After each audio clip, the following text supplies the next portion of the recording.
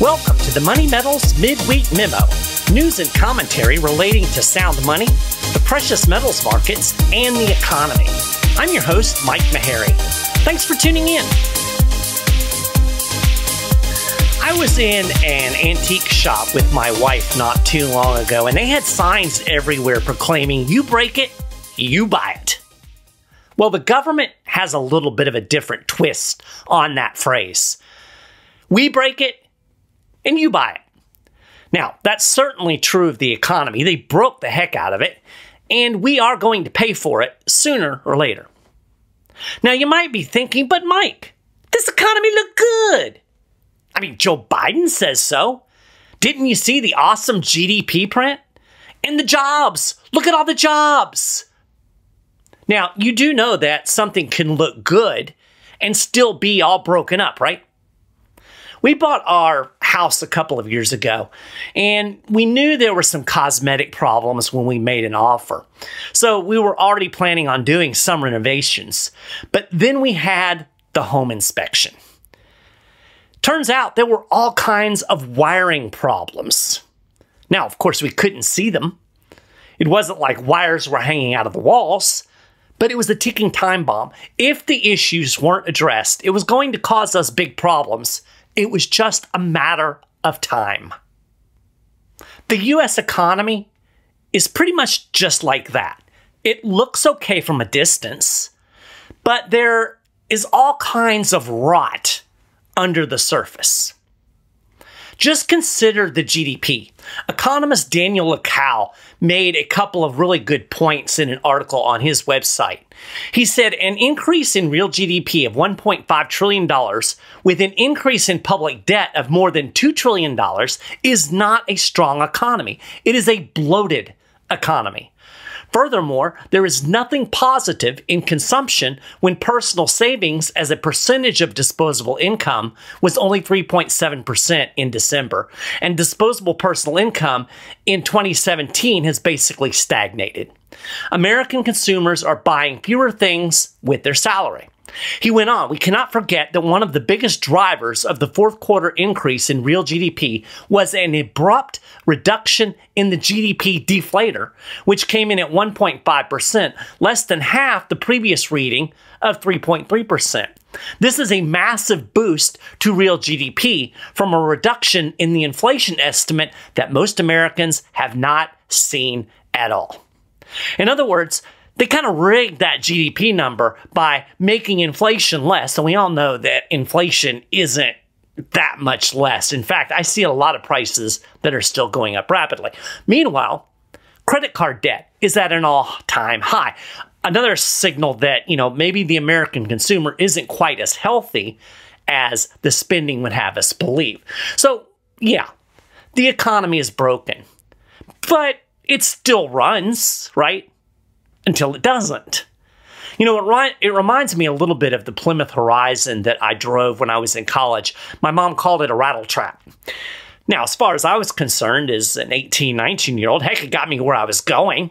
But the fact of the matter was, it was subject to breaking down pretty much at any given moment. It was a fundamentally unsound car. The Federal Reserve exacerbated the problems in the economy with interest rate hikes to fight price inflation. Now, I'm not saying they shouldn't have raised rates. What I'm saying is they shouldn't have created the inflation to begin with. But inflation is the lubricant that makes this economy go. And honestly, they really didn't have a lot of choice. I talked about the inflation tax in last week's show, and if you didn't hear it, do check it out because I explain exactly how we got where we are with this inflation mess. And I explain exactly why the federal government needs inflation and the Federal Reserve willingly gives it to them. Anyway, from the government's point of view, the recent bout of inflation wasn't really the problem. The problem was inflation got away from them and you noticed. That forced the Fed to raise rates, but as soon as it can get away with it, it's going to go right back to creating inflation. Like I said, the economy needs the inflation. It runs on inflation. Inflation is the mother's milk of this economy. But in the meantime, we do have higher interest rates. Now, they're not historically high. In fact, if you look at the Federal Reserve's, uh, it's the Chicago Fed, they have a uh, monetary conditions index. And if you look at that, you'll actually find that monetary conditions right now are still historically loose. So they haven't done all that much when it comes to making financial conditions tighter. But they are tight when you need artificially low interest rates and money creation in order to make the economy go. All that to say that they are going to break things with the higher interest rates. I mean, they've already broken things. Remember the banking crisis last March that started with Silicon Valley Bank going kaput? The Fed managed to paper that over with a bailout. But something else will break. It's just a matter of time. The commercial real estate market is a good candidate for breakage. And I'm going to talk a little bit about what's going on with the commercial real estate market because it's indicative of what the Fed has done to the overall economy. So here's the Cliffs Notes versions. According to research by the National Bureau of Economic Research, approximately 300 regional banks are at risk of collapse due to problems in the commercial real estate sector, sometimes referred to as CRE. Now, you remember Silicon Valley Bank, I just mentioned it, kind of like that. The International Monetary Fund is also flashing warning signs. In a recent blog post, IMF economists said that the global commercial real estate market is under, quote, intense pressure due to rising interest rates. Now, the United States has the biggest commercial real estate market in the entire world. According to the IMF, commercial real estate prices dropped by 11% since the Fed started hiking rates in 2022. This precipitous drop in commercial real estate value totally wiped out the previous two years' gains. Now, historically, tightening cycles haven't had a significant impact on commercial real estate prices. If you go back to the last tightening cycle, which was between 2015 and 2019, and really just 2018 in earnest, but you go back to that period, commercial real estate actually boomed. And this is probably a function of the fact that even though they were kind of trying to raise rates, they were still historically low, even as the Fed was trying to normalize them. And they never got anywhere near normalizing them, by the way. We had that little stock market crash in 2018, the economy got shaky, and the Fed went right back to increasing its balance sheet and slashing interest rates. And keep in mind, this was before the pandemic. The pandemic, I think I said this last week, the pandemic was a godsend for the government and the Federal Reserve because it allowed them to go all in on easy money and basically rescue an economy that was eh, dipping towards uh, some, some problems. But um, they kind of got a, a little reprieve there because of the pandemic. So, anyway, the commercial real estate sector right now is facing a triple whammy of falling prices, falling demand, and rising interest rates. Now, those demand issues stem from the pandemic stupidity when the government thought it was a good idea to shut down the economy. The post pandemic rise of telecommuting and work at home programs that have kind of continued on even after the pandemic it's crushed demand for office space. Vacancy rates in commercial buildings have soared in recent months. And all of this has put significant stress on commercial real estate investors and commercial real estate companies. In fact, the biggest bankruptcy in 2023, and there was an elevated number of corporate bankruptcies last year, but the biggest one was the failure of the Pennsylvania Real Estate Investment Trust. And this company had loaded up with more than $1 billion in debt. And uh, eventually it went under. So the collapse of the commercial real estate market could easily spill over into the financial sector. Do you remember how problems in the subprime mortgage market took down the financial system? The situation in commercial real estate today is kind of similar. You have a lot of small and medium sized banks with big exposure to commercial real estate loans. Bad commercial real estate loans because the value of commercial real estate is crashing even as interest rates are rising. A lot of people, they're just not going to be able to pay off those loans.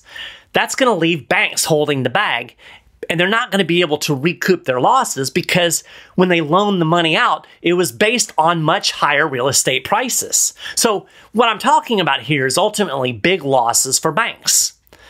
And to add to this problem, a lot of commercial real estate loans are coming due over the next several years. According to the Mortgage Bankers Association, around 1.2 trillion with a T $1.2 trillion of commercial real estate debt in the United States is going to mature over the next two years. According to Trepp, which is a uh, commercial or a real estate data provider, there are uh, $2.56 trillion in commercial real estate loans that will mature over the next five years, with 1.4 trillion of those held by banks. So all of that debt is going to have to be refinanced, right? That's a big problem for debtors who face much higher interest rates to borrow money on buildings that now have a much lower value. Trepp put it like this With rates rising and credit conditions tightening, many loans may face an uphill battle as refinancing becomes more costly, especially if banks and other lenders look to reduce their CRE exposure, as we, as we saw happen during previous recessionary cycles. This could lead to lower property values and larger losses for lenders. Or, as the IMF put it, higher financing costs since the beginning of the tightening cycle and tumbling property prices have resulted in rising losses on commercial real estate loans. Stricter lending standards by U.S. banks have further restricted funding availability. So, when you boil it all down, there are a lot of commercial real estate investors out there who face the prospect of refinancing loans at much higher rates that they can't afford on properties that are rapidly losing value. This is not a good equation, right? So it's no wonder that there are a growing number of commercial real estate defaults. I'll give you just one example. There are many. But according to Bank of America's Q3 financial statement, the total value of non performing loans, that means at least 90 days past due, increased to nearly $5 billion. And that was up from $4.27 billion in, in the second quarter. So almost a billion dollar increase. This huge increase was largely due to its commercial real estate portfolio. Now, Bank of America it can handle it, right? You've got all of these big banks; they can handle this. It's it's the too big to fail banks. No, no worries for them. But Reuters warned about what could happen uh, in a report last fall. They said weak demand for offices could trigger a wave of borrowers to default on their loans and put pressure on banks and other lenders, which are hoping to avoid selling loans at a significant discounts. The problem here is it's not Bank of America. It's small and mid sized regional banks hold a significant share of commercial real estate debt. In fact, they carry more than 4.4 times the exposure to commercial real estate loans than the major too big to fail banks. According to an analysis by Citigroup, regional and local banks hold 70% of all commercial real estate loans. And according to a report by Goldman Sachs, Banks with less than $250 billion in assets hold more than 80% of commercial real estate loans. So the IMF summarized the whole situation like this Financial intermediaries and investors with a significant exposure to commercial real estate face heightened asset quality risks. Smaller and regional U.S. banks are particularly vulnerable as they are almost five times more exposed to the sector than larger banks. Rising delinquencies and defaults in the sector could restrict lending and trigger a vicious cycle of tighter funding conditions, falling commercial property prices, and losses for financial intermediaries with adverse spillovers to the rest of the economy. This sounds almost exactly like the scenario that played out with the subprime mortgage market leading to the 2008 financial crisis, right? But hey, don't worry. Everything is fine. Uncle Joe told me so. Also, economists and Fed officials keep insisting that the banking system is sound. Economists claim the issues in the commercial real estate market don't pose any kind of systemic risk. Everything will be okay. Take a deep breath, they claim. So, I mean, why should I worry? Why should you worry? Of course, these are the same people who told us the subprime problem in 2007 was contained, that inflation was transitory, and quantitative easing was a temporary program that would eventually be unwound. In other words, these people have a pretty awful track record when it comes to projecting into the future. So maybe you and I should worry. Now, as I said earlier, this is indicative of what's going on all over the economy. The commercial real estate sector is just one sector, but there are similar issues in many other sectors of the economy, and it's ultimately the central bank's fault. Now, most people will agree with me to a point. I mean, they may not see it nearly as badly as I do, but they will agree that the Fed has caused some potential problems in the economy moving forward. They will concede that the Fed's rate hikes have created some issues. In fact, that's exactly why everybody is so desperate for the rate cuts to begin, right? They want rate cuts because they know that this debt riddled economy can't possibly plug along forever with 5.5% interest rates. They want the rate cuts. They love easy money. That drives the economy, right? So that's what they're looking for. So they would agree with me in that sense. They would say, yeah, the Fed maybe, maybe they went too far, or maybe they're gonna, you know, there's a danger they might hold interest rates high too long, and so that's a problem. But that's not really what I'm talking about. The Fed actually broke the economy long before the first rate hike. In fact, it started way back in the wake of the 2008 financial crisis. In fact, I would argue the problems go back to the 1980s and the 1990s, but we'll just start in 2006 for the sake of explanation. Everything that we're seeing today is all part and parcel of the business cycle driven by Fed monetary policy. Business cycle is kind of the fancy term. Boom bust cycle probably is a more accurate way to put it.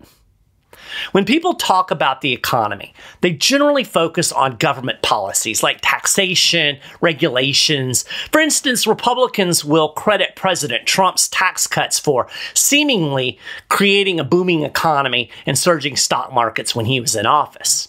Meanwhile, Democrats will blame deregulation for the 2008 financial crisis. And it's true that government policies do have an impact on the direction of the economy. But their analysis almost always completely ignores the biggest player on the stage, and that's the Federal Reserve. You really can't grasp the economic big picture without understanding how the Federal Reserve's monetary policy drives this boom bust cycle. The effects of these government policies all work within the Fed's monetary framework. Money printing and interest rate manipulations fuel booms, and the inevitable attempt to return to normalcy precipitates busts. In simple terms, easy money, low interest rates, money creation blows up bubbles. Bubbles pop and set off a crisis. Rinse, wash, repeat. In practice, when the economy slows or enters into a recession, central banks like the Federal Reserve drive interest rates down and launch quantitative easing programs to stimulate the economy. So it works like this low interest rates encourage borrowing and spending. The flood of cheap money suddenly available allows consumers to consume more, thus, the stimulus. It also incentivizes corporations and government entities to borrow and spend. Coupled with quantitative easing, the central bank can pump billions, even trillions of dollars of new money into the economy through this loose monetary policy. Money creation, it helps fuel the boom. And that's exactly what happened after the 2008 financial crisis, right? The Fed pushed rates to zero, and then they left them there for nearly a decade. Meanwhile, it created some $4 trillion out of thin air by buying bonds and mortgage backed securities, and it, it, injected all of that liquidity into the economy. And then, of course, they doubled down on this policy during the pandemic. This monetary policy, as I mentioned already, results in a temporary boom. But temporary is the key word. All of that new money that they're creating. It has to go somewhere, right? Now, it could result in rising consumer prices like it did after the pandemic. Or it could primarily pump up the price of assets such as real estate, the stock market. Uh, that's what we saw after the dot com bust and after the 2008 financial crisis. We primarily saw inflation manifest itself in asset prices because of the dynamics of the pandemic, where we had a lot of people getting a lot of money and not producing anything, we actually saw a, a big increase in price inflation. So it can manifest in different ways. But regardless, the whole thing creates a fake wealth effect. This is what it did after the 08 uh, crisis. People feel wealthier because they see the value of their assets rapidly increasing. They see this stimulus money coming into their bank account. So, with plenty of debt driven spending and rapidly increasing asset prices, the economy grows sometimes at a staggeringly fast pace. Meanwhile, surging economic growth, shrinking unemployment, rising stock prices, all of this driven by money creation, give you the illusion of a healthy economy. But the monetary policy hides the economic rot that's in the foundation. Like the problems with my wiring were hidden by the walls, right? You see where I'm going here, don't you?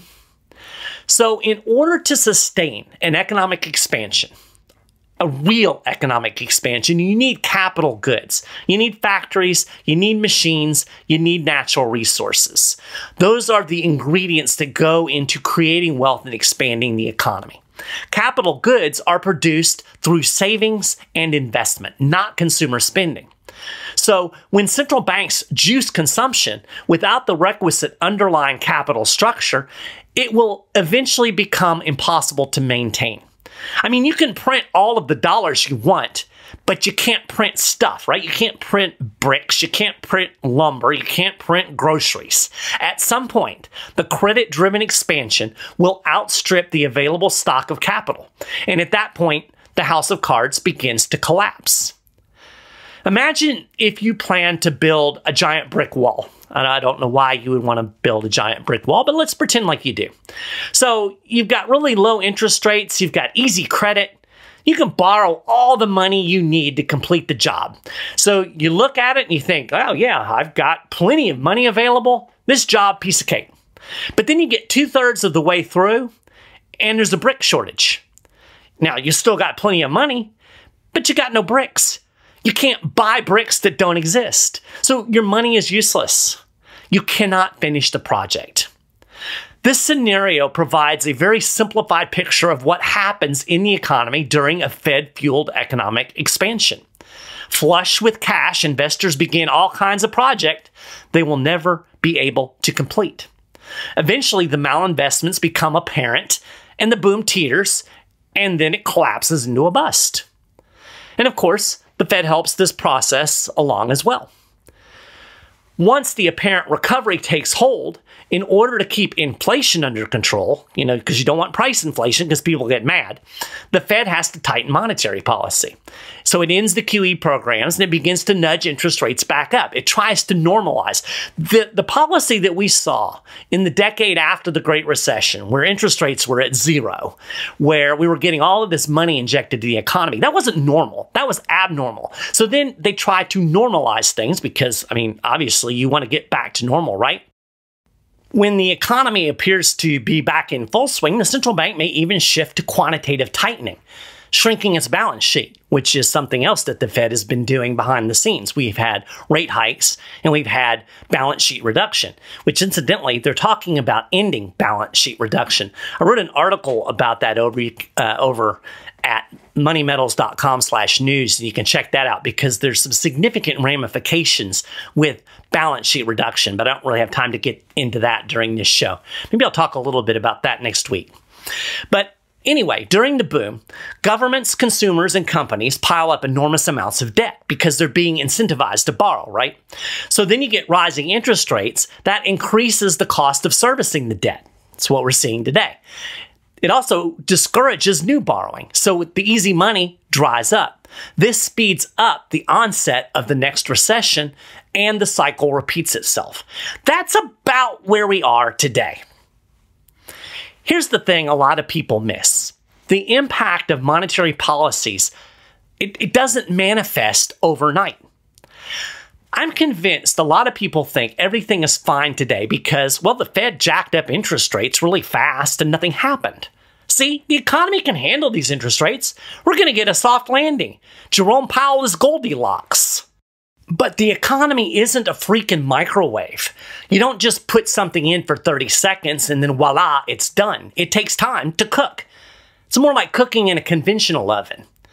The thing is, we live in a microwave society. You know, history goes back about two weeks. Everybody expects everything to be instantaneous. The news cycle is my most recent glance at my feed on X.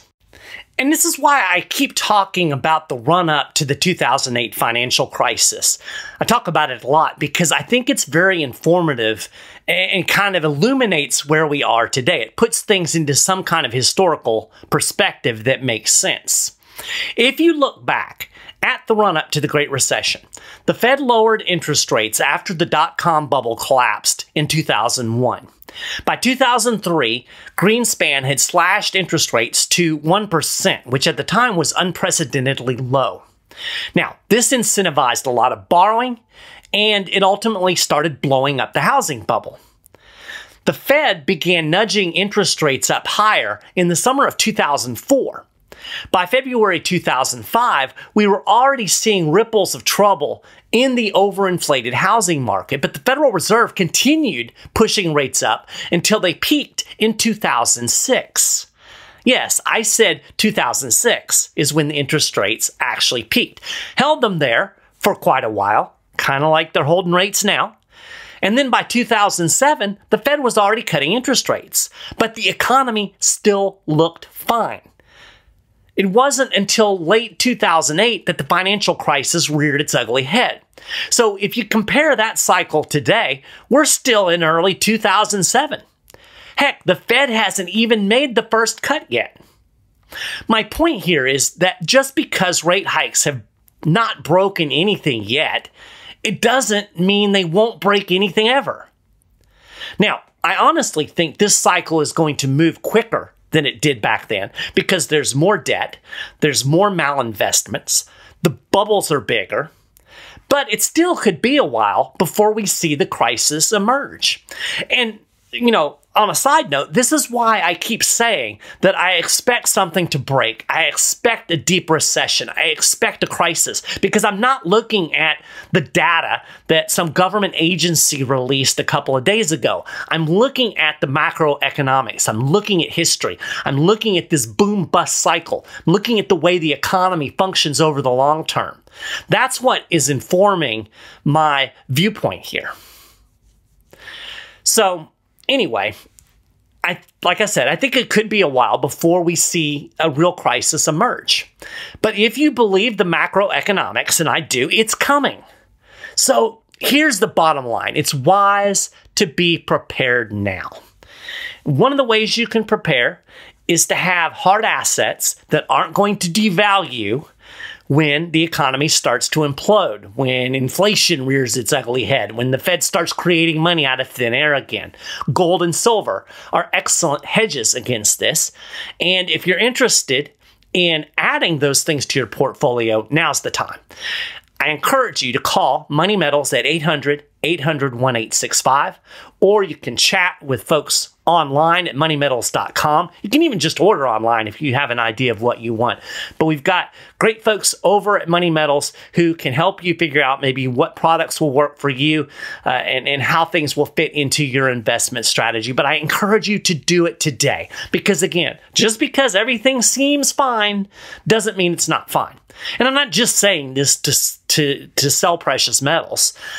I have precious metals. I'm saying this because I believe it's true, because I've been studying economics for a long time and I can see the rot in the foundation that most people are missing. So, with that, we're going to wrap up this episode of Money Metals Midweek Memo. You can get more information about the things that I've talked about and more over at moneymetals.com/news. And you know, if you want to get the latest news right in your inbox, You can sign up on our email list and we'll send articles to you. We'll send great information to you. Uh, of course, you can subscribe to the Midweek Memo on your favorite podcasting platform. You can email me, mike.maharrey, M A H A R R E Y, at moneymetals.com.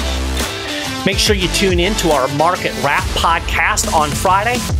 Thank you so much for listening to the show today and have a great rest of your week.